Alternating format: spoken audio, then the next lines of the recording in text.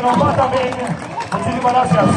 Bueno, la carroza de la municipalidad de San Mateo, ¿quién es el eh, que comparte el centro Porque vamos a seguir dando premios que todos los que lo hagan ingresen al cuento del centro 96.